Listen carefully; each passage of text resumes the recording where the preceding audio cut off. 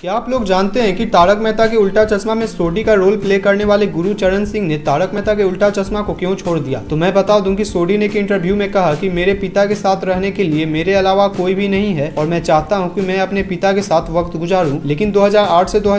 तक काम करने के बाद सोडी ने वापस दो में शो को छोड़ दिया था लेकिन अपने फैंस की हैवी डिमांड पर सोडी ने वापस तारक मेहता के शो को ज्वाइन कर लिया लेकिन फिर वे अपने पिता के साथ वक्त गुजारने के चलते तारक मेहता के उल्टा चश्मा के शो को छोड़ दिया और आइए आप जानते हैं कि टप्पू यानी कि भव्य गांधी ने भी तारक मेहता के शो को क्यों छोड़ दिया दरअसल टप्पू का कहना था कि उन्हें बाकी एक्टर्स की तरह जैसे कि जेठालाल और चंपक लाल के जैसे बार बार टीवी शो में नहीं दिखाया जाता है और वे चाहते थे कि उन्हें ज्यादा से ज्यादा टीवी पर दिखाया जाए और कुछ लोगों का कहना है की बीच में टप्पू का तारक मेहता के शो के डायरेक्टर के साथ झगड़ा हो गया था और ये भी वजह है की टप्पू ने तारक मेहता के शो को छोड़ दिया तीसरी वजह है की टप्पू को एक बड़े गुजराती फिल्म में उन्हें काम करने का मौका मिल गया जिसके चलते उन्होंने तारक मेहता के शो को छोड़कर उस फिल्म में काम करने लगे